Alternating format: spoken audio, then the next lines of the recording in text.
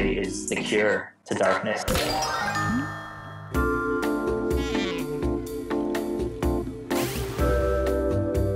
Hashtags.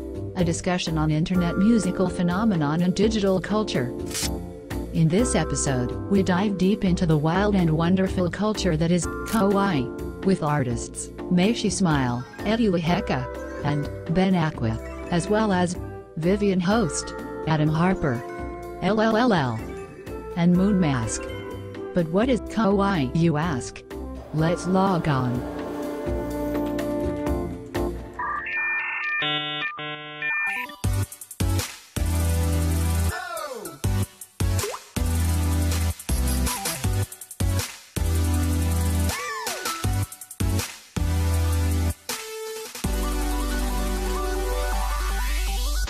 Kawaii is naive. Kawaii is cute. Kawaii is beautiful.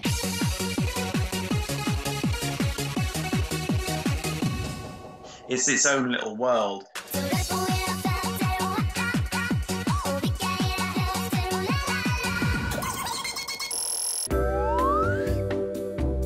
An adjective in Japanese meaning pretty, cute, lovely, charming, dear, darling, pet.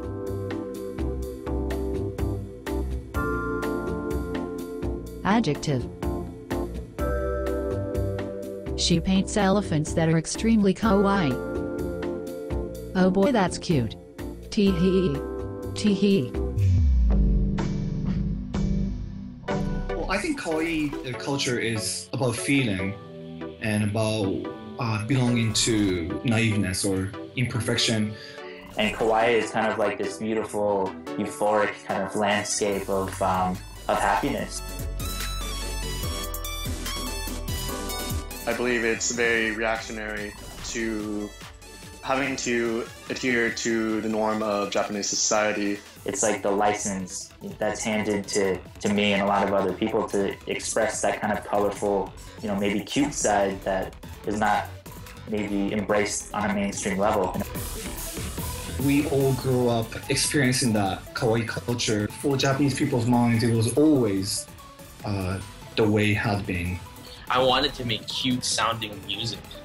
Music that I can like dress up to. As like a means to express themselves outside of their daily lives. Like people who go to the office and they have to, you know, wear a suit or wear dress clothes all day, but then when they get home, it's a way to kind of free themselves and express themselves and be who they want to be.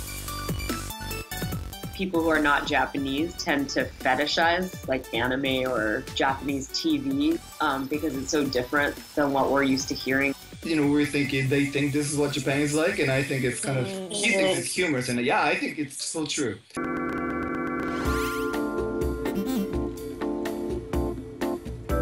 Hold on. Let me show you. There's an enormous, cute underground of people who are very interested in Japan, very interested in 8 bit music, uh, very interested in anime, very interested in Nintendo. It's by no, no means just a music thing. And a lot of the growth came from like the the music game community, like people who were playing games like DDR and Beatmania. They were the ones that kind of latched on to the music originally. One thing to know about all of this is that it is all nerd subculture. But it's only been in the past five years or so that it's really become a, a self critical talking point and listening point.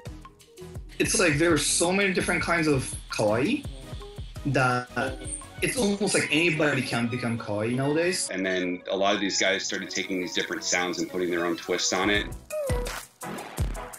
I think a lot of people see what Japan is doing in regards to like creating cute characters and creating these very colorful and vibrant experiences, and that's starting to show up in the US as well. In Japan, I mean, it's much more of a part of everyday life. To us, it wasn't any anything particularly unique about it. It's just a part of our existence, you know. Kawaii has a substantial history. And as such is a rich tapestry of adorable cuteness. A whole world, a whole palette of uh, kawaii is a way of dressing, a way of sounding, a way of moving, a way of living, really. I kind of feel like I'm like this cartoon character that has this kind of dark, twisted side to him, maybe, but on the outside presents himself very colorfully and very cute and cuddly as much as I can. There's definitely a sense of like trying to maintain a childlike uh, attitude and look. In, in Japanese culture, like people tend to not be so forward about things. So I think that's kind of where this all came from. My feelings for it are so strong. It gets to me. Kawaii culture is a form of escapism. it kind of allows this kind of like almost like gender expression that's like a new form where it's not about being like, oh, you're a female character or a male character that who's also kawaii, but it's more about just being that character. It's almost like The Sims, right? Or some video game where you're creating these alternate lands or alternate spaces online. Is it physical? Is it real? Is it is it fake? Um, does it exist? Does it not exist? and because it's so colourful, because it's so cute, it's very different in some ways from the sense that people have of realism. URL and IRL. I argue. I've argued for a while that they're the same thing. They've always been the same thing. You really have to ask yourself what what reality is and where you want to live in.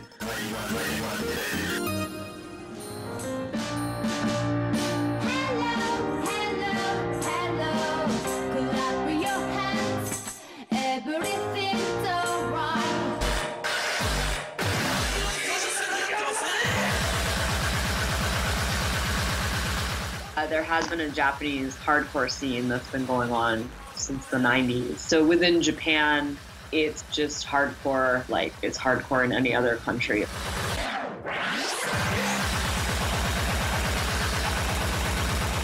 Originally, it was a lot of like Rotterdam and uh, like harder style type stuff. A lot of what happens in breakcore is sampling, is this really chopped up, scissored up, high BPM sampling. A lot of people would just call it J-core because that's like the umbrella term for all of this kind of underground like DIY music. Again, you don't have to necessarily like it, but um, if it affects you in a way where it challenges you, I think that's how people open their minds. Even though it's not always cute. Japanese hardcore or J-core is often considered a part of kawaii culture. So much of the evolution of kawaii culture right now happens very underground. Maybe one of the differences between mainstream and underground is that underground stuff is is contradictory and it works against itself. I mean, J-core and this kind of like internet music that we're making is like, you know, considerably smaller compared to like something like, you know, say like EDM. And people have been adapting that into their own things that they can kind of push into kawaii culture, Japanese culture. Because there's a lot of stuff out there too, like uh, Junji Ito is a mangaka in Japan that's very well known for making like dark, disturbing kind of imagery.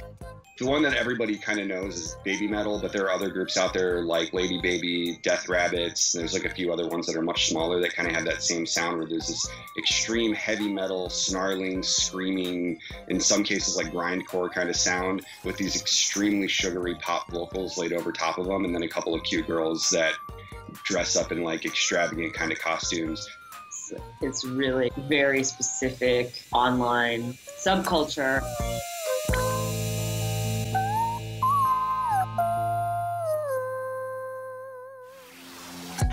Think a lot of producers here, I think they're very influenced by the city. I mean, the city is very high paced. You see these seas of people walking out and all these lights and you know colors and stuff like that.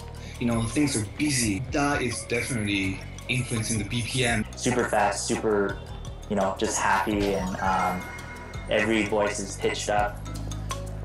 What does it mean to look at the world through a child's eyes? Is this really what? How is this different from reality, and why are we why are we uh, interested in it? It makes me so happy to see that people are uniting over something that cute. I love it. I love it. What people are doing is exploring something that they're a little bit intrigued by, and maybe even a little bit frightened by, but also kind of seduced by at the same time.